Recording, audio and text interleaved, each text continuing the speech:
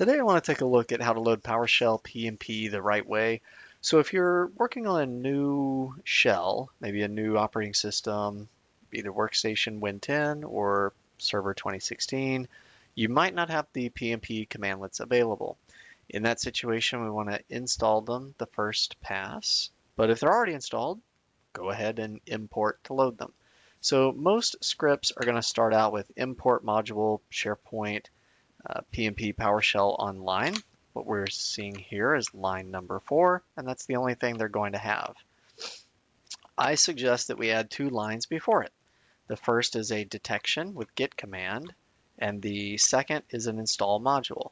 So what we're going to do is detect are the commands available, and then if they're not available, go ahead and run an install command to download and bring them into the host operating system.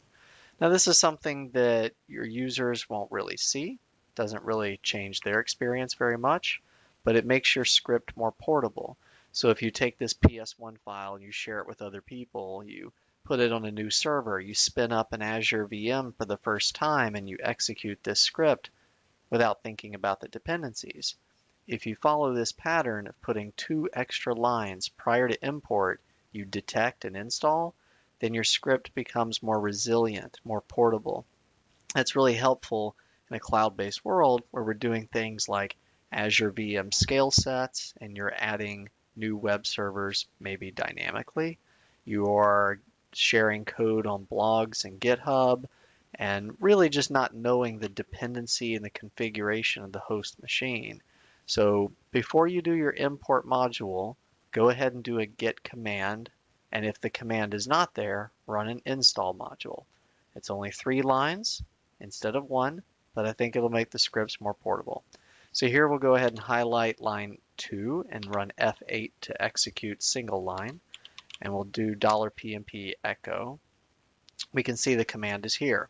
So in this case, an install would not occur, and we'd go ahead and continue down to the import. Now, if I were to make a console where the commands were not available, switch over to a new console, run that same command here, PnP is not available.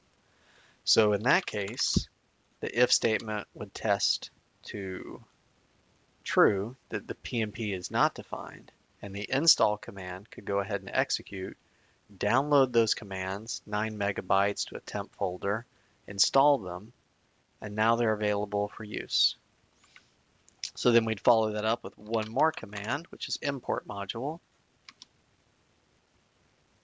And at this point, we can go ahead and use our connect.